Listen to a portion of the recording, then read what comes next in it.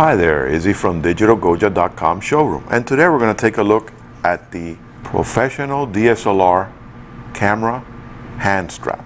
This is meant so that you can add a grip. There's a lot of us that don't want to wear the straps around our neck or shoulders. We're just not used to it.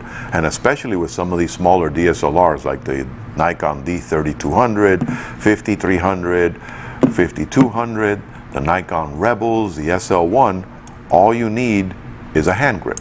So this guy is going to take the place of where your strap originally would be attached and then you also have the bottom attachment which goes to where your tripod socket is.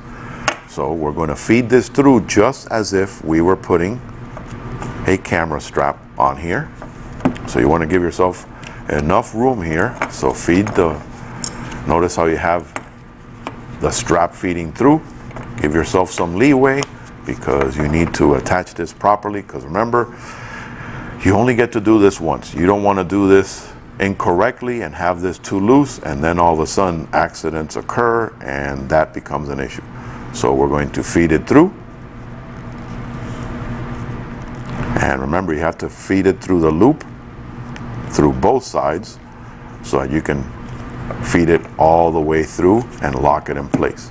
Now you finish feeding it through, you want to snap this shut. You want to make sure that this holds it in place. And now we're going to attach the second portion of it, which is right to the tripod socket. We're going to turn the knurled knob. And notice how you still have a tripod thread underneath. So at one given point, you don't have to go through the trouble of taking the strap off if you want to just attach your camera to the tripod.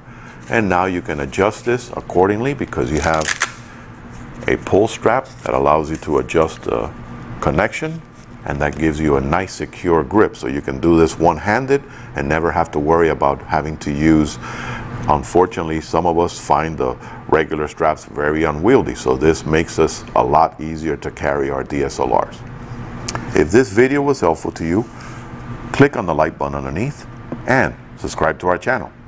Happy shooting